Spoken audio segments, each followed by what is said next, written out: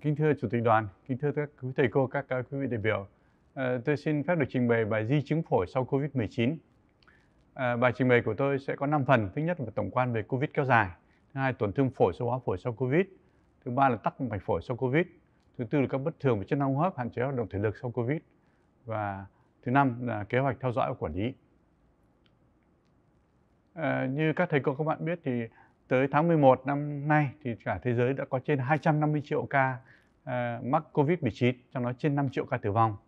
Ở Việt Nam chúng ta thì có tới ờ, uh, 961.000 người mắc và gần 22.500 bệnh nhân tử vong. Uh, sau giai đoạn nhiễm Covid cấp tính ấy, thì bệnh nhân có thể gặp một phải một loạt các cái triệu chứng mới tái phát hoặc tồn tại kéo dài hàng tuần hay hàng tháng. À, người ta gọi là hội chứng hậu Covid hay hội chứng hậu Covid cấp tính, di chứng sau nhiễm SARS-CoV cấp tính tình trạng sau Covid và Covid kéo dài.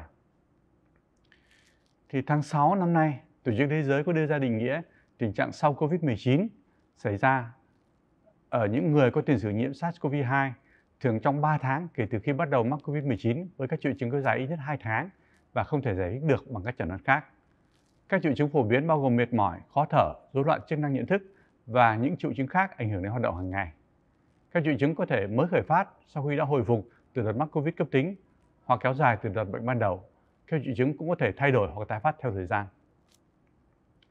À, như các bạn biết thì ờ, virus SARS-CoV-2 xâm nhập vào các tạng à, qua các cái ờ, receptor ờ, à, ACE2 có ở hầu hết các cơ quan. À, chúng ta nhìn thấy ở đây à, receptor ACE2 có ở phổi, ở tim, ở não, ở lách, ở gan, ở các mạch máu, ở đường tiêu hóa, ở thận ở tụy. Vì vậy, các triệu chứng COVID ở trong thời kỳ cấp cũng như COVID kéo dài sẽ rất là đa dạng. Có thể nói có triệu chứng ở hầu hết các loại. Về tổn thương phổi sau COVID thì cái tình trạng sau COVID-19 thì biểu hiện đường hô hấp thường rõ ràng nhất và nặng nhất. À, có thể gặp các dấu hiệu khó thở từ mức độ nhẹ đến mức độ nặng, ho kéo dài, đau ngực, tổn thương phổi kéo dài, à, sơ phổi, tác động mạch phổi, suy giảm chức năng hô hấp và có đó ảnh hưởng đến các triệu chứng toàn thân. Về cơ chế thì do cái virus ờ, SARS-CoV-2 ờ, xâm nhập vào các tổ chức ở trong cơ, thể ờ, ở đây ở trong phế nang ấy, thì chúng ta thấy là sẽ kích hoạt cái tình trạng mà sản sinh ra các cytokine gây viêm như interleukin 6, TNF alpha hay các cái gốc oxy hóa tự do. Từ đó gây nên kích hoạt tăng sinh các cái sợi sơ, sợi sơ sơ chun, rồi tăng sinh các nguyên bào sơ và cũng ờ, qua cái việc mà kích hoạt các cytokine với các gốc oxy hóa sẽ tác động lên các nội mạc và tác động lên các cái tiểu cầu kích hoạt các hệ thống đông máu hình thành các cục máu đông uh, trong lòng các uh, vi huyết quản và các cái mạch máu lớn. Uh, tổn thương phổi sau Covid thì có thể uh, rất là đa dạng. Đây là uh, hình ảnh CT của một bệnh nhân nữ 59 tuổi bị mắc Covid-19 và chụp lúc mới nhập viện thì trên ờ, CT phổi chúng ta thấy có một số hình ảnh kính mờ, một số tổn thương đôn đặc và sau này thì bệnh nhân diễn biến mấy ngày sau tiến triển thành suy hấp cấp người lớn ARDS. Sau 2 tháng thì các tổn thương đông đặc trên phim CT này chúng ta thấy đã biến mất nhưng vẫn còn một số hình ảnh kính mờ, một số tổn thương dạng lưới và giãn nhẹ phế quản. Và trên phim CT chụp 7 tháng sau thì hối tổn thương đã không còn. Ờ, sau nhiễm COVID-19 cũng có thể hình thành bệnh phổi tắc nghẽn. Đây là hình ảnh phim CT của bệnh nhân nữ 60 tuổi chụp ở chỉ hít vào tại thời điểm 8 tháng sau khi mắc COVID-19. Bệnh nhân lúc này vẫn còn khó thở, tức ngực. Và trên phim CT này ở bên phổi phần phía trước của phân thủy à, phân thủy trước của phổi uh, thủy trên bên trái thấy tình trạng à, giảm nồng độ khảm nhẹ ở bên thủy trên phổi trái còn lại và một số ít tổn thương ở phần phổi phải. Và trên phim, CT phổi chụp ở thì thở ra cũng ở thời điểm 8 tháng sau khi mắc Covid thì thấy có tình trạng khí cạn ở phân thủy trước của thủy trên phổi bên trái ờ, chứng tỏ có cái tình trạng tắc nghẽn đường thở nhỏ. Về các yếu tố nguy cơ gây sơ phổi sau Covid-19, ờ, thứ nhất là về ờ, cái tần suất sơ phổi thì nó tùy thuộc vào cách chúng ta đánh giá đánh giá tổng thể tất cả bệnh nhân hay chỉ các bệnh nhân có triệu chứng và còn phụ thuộc một số yếu tố khác nữa ví dụ như bệnh nhân tuổi cao nam giới thời gian nằm viện dài thì cái tỷ lệ tổn thương sơ phổi cao hơn. À, sự có mặt của các bệnh đồng mắc, đặc biệt là các bệnh phổi kẽ có từ trước. Rồi mức độ nặng của bệnh nhân ở giai đoạn cấp với việc mà tăng cao các cái cytokine viêm, ví dụ như interleukin 6, tăng cao dedimer bệnh nhân cần uh, thở oxy, cần thở máy uh, xâm nhập hoặc một số can thiệp khác và bệnh nhân có diễn biến thành siêu cấp tiến triển người lớn. Đa số các bệnh nhân có bất thường đáng kể trên phim chụp các lớp vi tính lớp mỏng độ phân giải cao thì sẽ có các triệu chứng lâm sàng như khó thở, ho và một số các bất thường của chân hô hấp. À, đây là một uh, trường hợp bệnh nhân nữ 59 tuổi. À, CT phổi lúc nhập viện thì thấy hình ảnh các nốt đông đặc, dấu hiệu halo kính mờ ở thủy dưới phổi bên trái, trên cái nốt à, to nhất ạ. Và sau đó bệnh nhân tiến triển thành hội chứng hô cấp ở người lớn. À, phim phim CT à, bên tay phải B đó thì sau 2 tháng hầu hết các tổn thương đông đặc đã biến mất, còn một số tổn thương hình kính mờ mức độ trung bình thôi. Và trên cái phim CTC chụp 3 tháng sau thì tổn thương kính mờ giảm nhiều, à, còn một chút thôi. Và cái phim D là phim chụp 11 tháng sau thì còn một chút tổn thương kính mờ. Các lúc này thì các dấu hiệu lâm sàng ờ, đã biến mất rồi và chức năng hô hấp bình thường. Như vậy chúng ta thấy có thể thấy ở bệnh nhân này á, sau 11 tháng thì phim CT mới trở về gần như bình thường, các dấu hiệu lâm sàng cũng hết đi và chức năng hô hấp bình thường về cái tình trạng sơ phổi sau Covid ở 3 tháng sau khi nhiễm Covid ấy, thì các một số nghiên cứu cho thấy rằng 42% số bệnh nhân có bất thường trên PVT lúc đầu sẽ vẫn tiếp tục còn tổn thương tồn tại. 25% trong số đó không phải nhập viện và thường gặp nhất là tổn thương kính mờ với tổn thương dạng giải như mô sát màng phổi. Nhưng mà ở những bệnh nhân có thở máy ấy, trong giai đoạn cấp ấy, thì sơ phổi gặp ở tới 6-7% và các tổn thương này hay tồn tại kéo dài ở vị trí của tổn thương trong giai đoạn cấp tính trước đó. Đây là một bệnh nhân nam 64 tuổi và chụp cái lớp 4 tháng sau khi nhiễm Covid. Thì các bạn thấy hình ảnh các cái đám kính mờ với cái dày vách quanh tiểu thủy ở hai bên phổi với ờ, đánh dấu bằng các mũi tên á. Và ờ, bên hình bên tay phải CT ngực 7 tháng sau nhiễm Covid thì thấy hình ảnh tổn thương phổi giảm nhiều còn chút kính mờ và giải sơ. Đây là một cái tình trạng à, bệnh nhân có viêm phổi tổ chức hóa sau khi nhiễm Covid. Và đây cũng là một bệnh nhân khác có hình ảnh viêm phổi tổ chức hóa với dấu hiệu đảo san hô sau khi nhiễm Covid. Với cái, cái trên các cái phim CT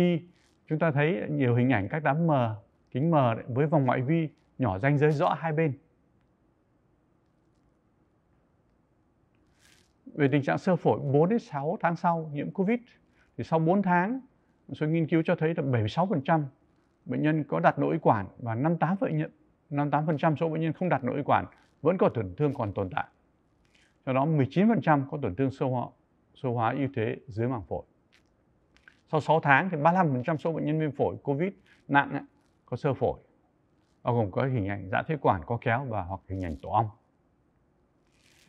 Đây là hình ảnh phim CT của bệnh nhân nam 54 tuổi có uh, bị suy hấp cấp tiến triển người lớn sâu hóa sau Covid. Uh, hình CT A bên tay trái chúng ta thấy CT phổi sau 2 tuần nhập viện thì có tình trạng kính mờ lan tỏa, một số hình ảnh lưới và giãn phế quản do cao kéo. Và trên phim CT phổi 6 tháng sau á, thì thấy giảm tình trạng kính mờ nhưng mà giãn phế quản cao kéo lan tỏa sơ hóa thì rõ hơn nhiều. Như vậy bệnh nhân này có cái di chứng sơ hóa phổi giãn phế quản co kéo. Và đây là, cũng là phim CT của một bệnh nhân nam 64 tuổi. Ờ, bệnh nhân này nhiễm Covid tương đối nhẹ thôi, không cần điều trị ờ, tại khoa hồi sức tích cực nhưng mà sau đó có khó thở tăng dần.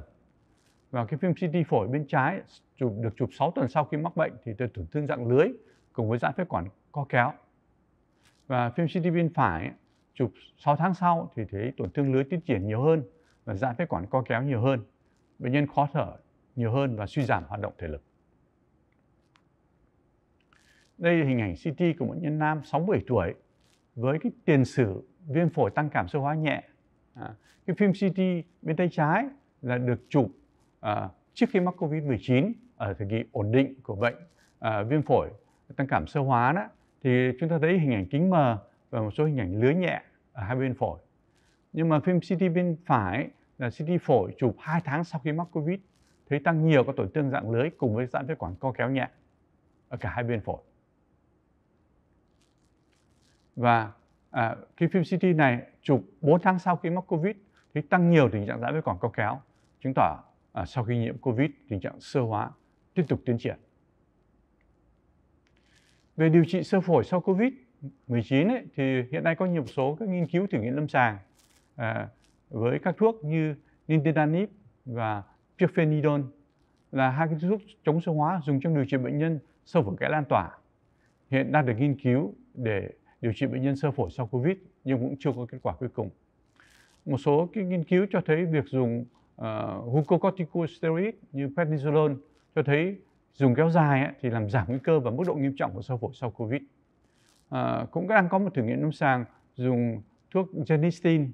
là thuốc chủ vận uh, receptor uh, estrogen beta thì có thể hoạt hóa yếu tố phiên mã làm giảm viêm, giảm số hóa phổi. Về tắc mạch phổi sau covid. 19 ấy, thì tắc mạch phổi là biến chứng thường gặp ở bệnh nhân mắc COVID-19 từ mức độ nặng trung bình trở lên với định lượng dedimer máu cao kèm theo dấu hiệu của tăng áp động mạch phổi và được chẩn đoán bằng chụp các lớp vi tính phổi có tiêm thuốc cản quang với dựng hình động mạch phổi. Một số tác giả có mô tả những ca bệnh mắc COVID-19 sau khi điều trị ổn định được ra viện nhưng phải tái nhập viện một thời gian ngắn sau vì tác động mạch phổi nặng, thậm chí tử vong. Có ca bị bệnh mắc tác động mạch phổi 5 tháng sau khi nhiễm COVID-19. Vì các bạn biết thì cái virus ờ, SARS-CoV-2 nó kích hoạt các cái yếu tố cytokine và tác động lên hệ toàn bộ hệ thống đông máu ở ờ, có thể nói từ các cái vi mạch ở trong phổi đến các mạch lớn ở, ở trên khắp các cơ thể dẫn đến hình thành các huyết khối sâu tĩnh mạch chi huyết khối trong lòng động mạch phổi huyết khối ở não uh, gây nên có thể cái tần suất làm cho tần suất cái huyết khối tĩnh mạch sâu uh, tới 15% và tắc mạch phổi 16,5% ở một số bệnh nhân uh, nhập viện và tỷ lệ cái tác động mạch phổi ở bệnh nhân mà nằm điều trị khoa học sức tích cực ấy, tôi có thể tới gần 50% trong một số nghiên cứu. Vì vậy cần uh, cân nhắc việc thăm dò tác động mạch phổi ở bệnh nhân trong quá trình nằm viện khi thấy có tình trạng uh, tăng áp động mạch phổi uh, hoặc là khi ra viện rồi nhưng mà vẫn còn có khó thở hoặc giảm uh, DNCO mà không giải thích được. Ờ, đây là một hình ảnh chụp CT có tên thuốc cản quang của bệnh nhân nữ 63 tuổi, ờ, chụp 7 tuần sau khi mắc COVID-19. Lúc này bệnh nhân vẫn còn khó thở với nồng độ dedimer cao trong máu. Và trên phim chụp các lớp vi tính tên thuốc cản quang, chúng ta thấy cái huyết khối bị tắc động mạch liên thùy phải. Và trên cửa sổ nhu mô ấy, thì thấy còn hình ảnh kính mờ giải rác từng đám với hình ờ, đông đặc hình chêm điển hình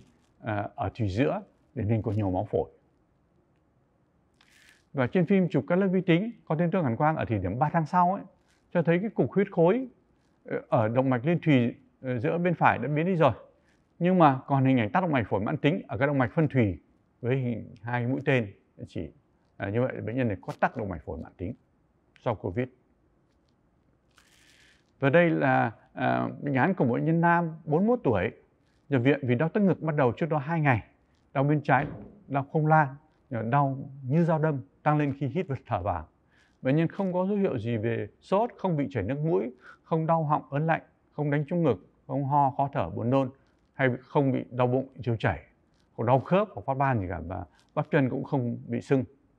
Có tiền sử thì trước đó 5 tháng bệnh nhân được chuẩn đoán nhiễm COVID-19 qua xét nghiệm uh, uh, rt ngoài mũi. Bệnh nhân được bị uh, ho và khó thở kéo dài 2 tuần và sau đó thì khỏi hẳn. Uh, cũng uh, không phải Ờ, nằm viện mà chỉ cần ờ, đã được điều trị tại cách ly tại nhà thôi, không phải thở oxy. Bệnh nhân không có tiền sử bệnh tật khác và không dùng thuốc.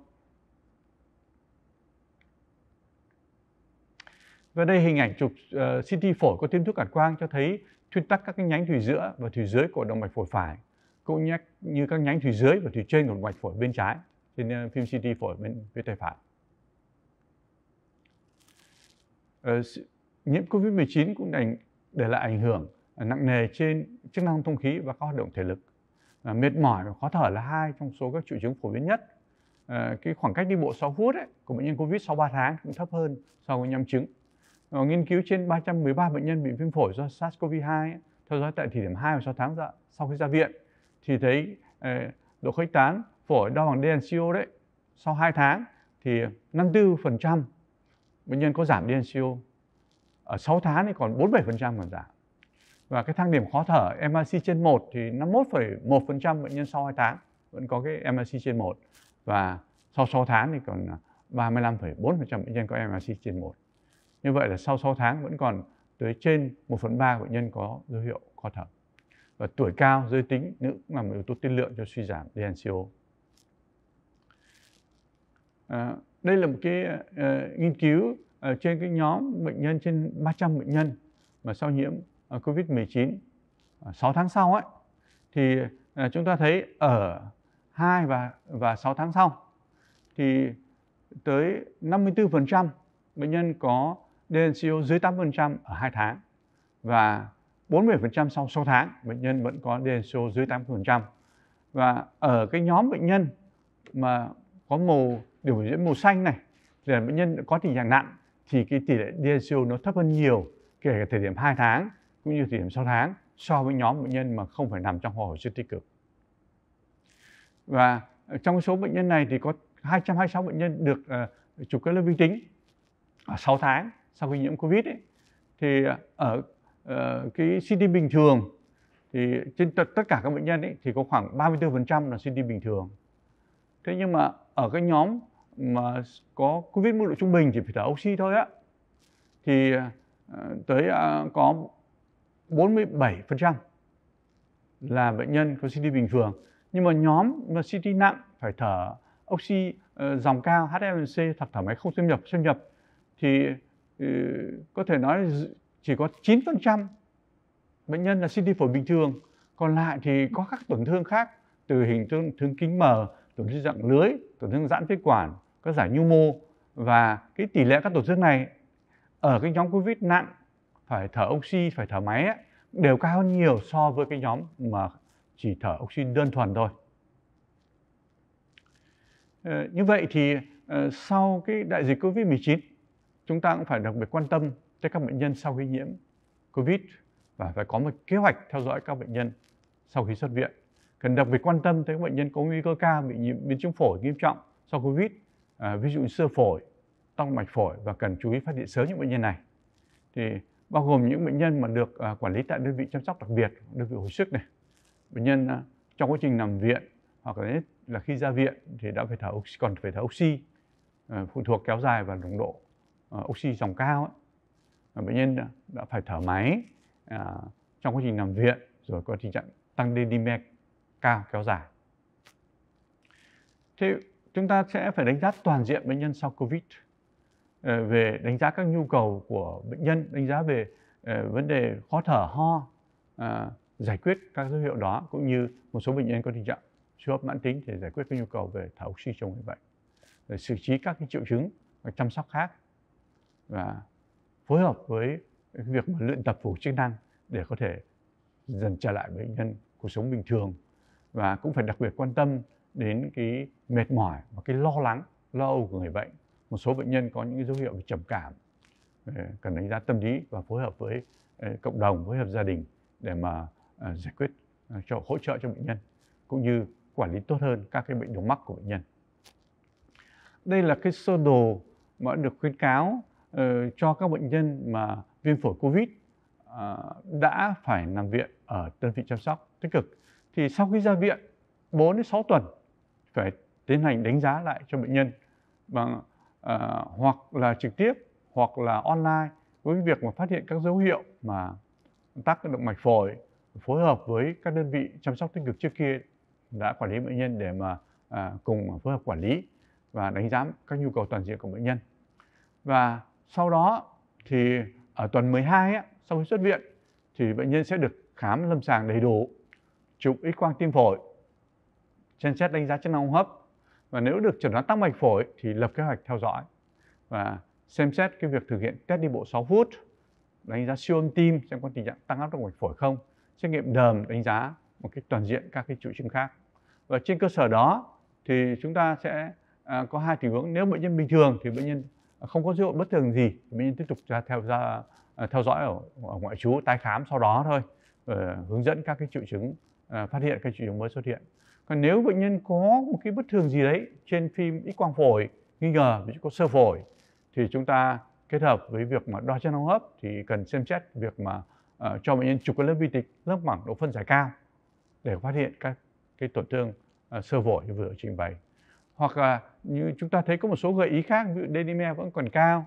có siêu âm tim có uh, tăng áp động mạch phổi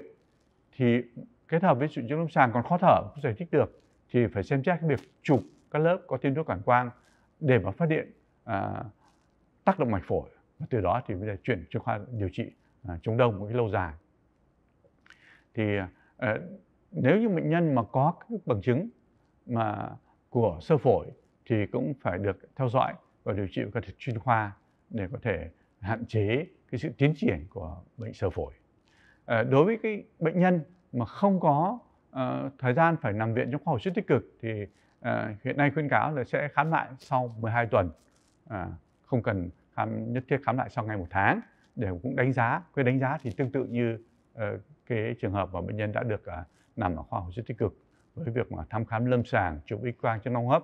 uh, tìm kiếm phát hiện sơ phổi hoặc là các biến chứng khác như tắc động mạch phổi. Tóm lại thì di chứng phổi sau COVID-19 có biểu hiện rất là đa dạng thông thường nhất là biểu hiện khó thở ho kéo dài có thể có đau ngực suy giảm chức năng hô hấp dẫn đến hạn chế hoạt động thể lực à, sơ hóa phổi tắc mạch phổi. Các bất thường này có thể cải thiện theo thời gian nhưng mà cũng có nhiều trường hợp thì tồn tại lâu dài thậm chí tiến triển nặng lên ảnh hưởng đến chất lượng cuộc sống của người bệnh. Và chính vậy thì việc cần xây dựng một cách cụ thể để phát hiện sớm theo dõi quản lý những di chứng phổi sau covid 19 tái khám ở tuần thứ tư sau khi bệnh nhân xuất viện ở những đơn vị hồi sức tích cực hoặc ở tuần thứ 12 sau khi mà được ờ, điều trị ờ, ở trong bệnh phòng thông thường hoặc điều trị ở nhà thì rất là quan trọng. Việc ờ, sử dụng hợp lý các cái thăm dò, đặc biệt là uh, đoán hình ảnh với chụp các lớp vi tính lớp mỏng phân giải cao khi có các triệu chứng hô hấp để mà phát hiện uh, các di chứng sơ phổi hoặc là chụp các lớp có tiên thuốc cản quang khi có khó thở không rõ nguyên nhân uh, để mà phát hiện sớm xử trí Ờ, tác động mạch phổi là rất là cần thiết. Xin à, trân trọng cảm ơn sự chú ý của các thầy cô, các quý vị.